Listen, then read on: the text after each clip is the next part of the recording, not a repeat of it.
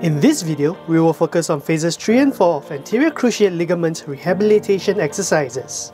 For phase 3, your physiotherapist will work with you on agility training exercises, running, and improving your core, as well as lower leg and hip strength. All these are important to help sportsmen and people who are into high-level competitive sports return to their sports. For people who do not fall into these two categories, you are still highly recommended to proceed with phases 3 and 4.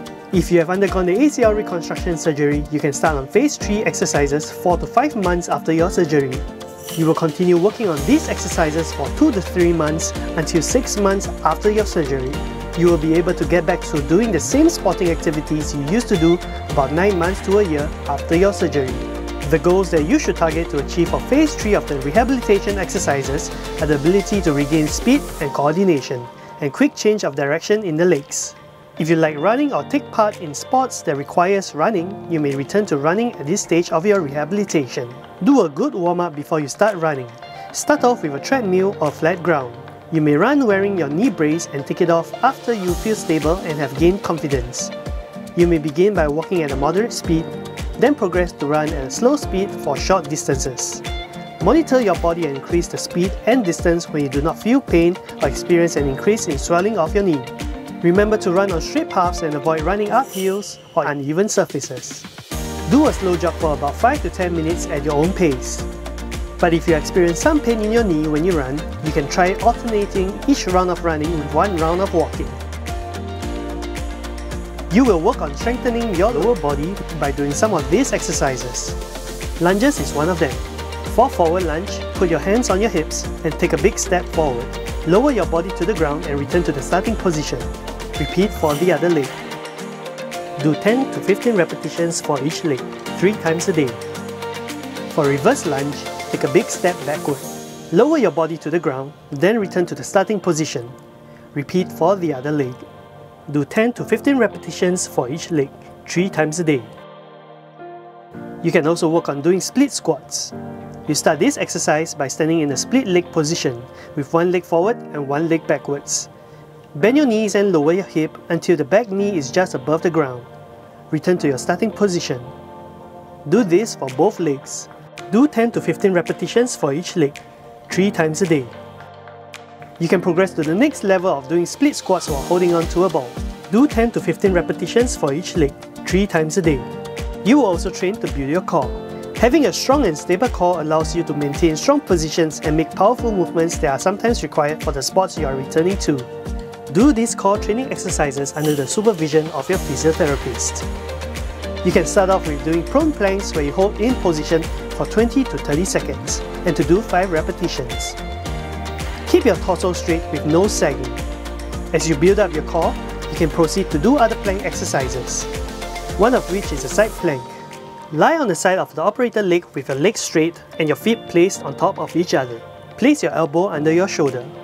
Lift your hips off the ground and use your elbows and the side of the operator leg to support your weight. Your body should be in a straight line. Hold for 20 to 30 seconds and lower yourself back to the ground. Do 5 repetitions. Next, we move on to do bridging. Lie with your back on the mat. Rest your hands on your sides. Bend your knees and place your feet on the ground. Raise your hips and make sure it's a straight line from your knee to your shoulder. Hold for 20 to 30 seconds and lower your hips back to the ground. Do 5 repetitions. You will do single leg pelvic bridge. Place your good leg over the operator leg. Hold for 20 to 30 seconds and relax to original resting position. Do 5 repetitions. You can proceed to do pelvic bridging with a Swiss ball. Lie with your back on the mat. Rest your feet on top of the Swiss ball. Place your arms out on your sides. Dig your heels into the ball to roll the ball until your knees are bent at 90 degrees. Slowly roll the ball back to the starting position. Do 5 repetitions. Together with a physiotherapist or partner, you can work on the Nordic hamstring eccentric curl exercises. Kneel on the mat while your partner holds on to your ankles. Lean forward slowly and in a controlled manner.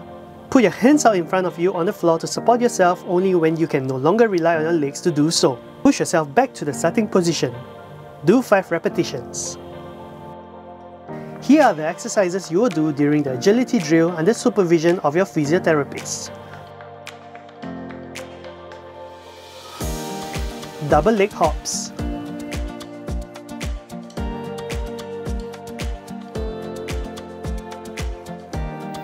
Single leg hops.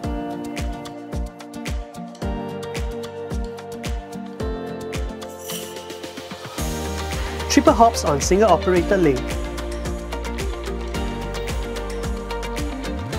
Crossover hops on single operator leg. Shuttle run. Ladder drill.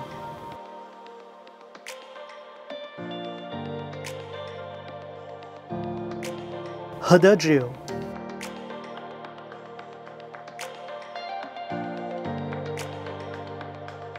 In phase 4 of the rehabilitation, which starts about 6 months after your surgery, your physiotherapist will work with you on your return to sports.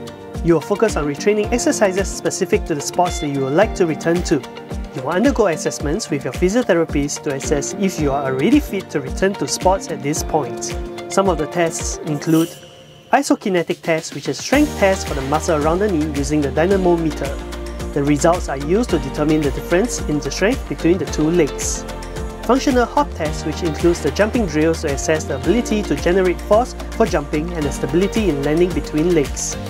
These tests help assess if you are ready to return to sports activities and also identify the risk of re-injury.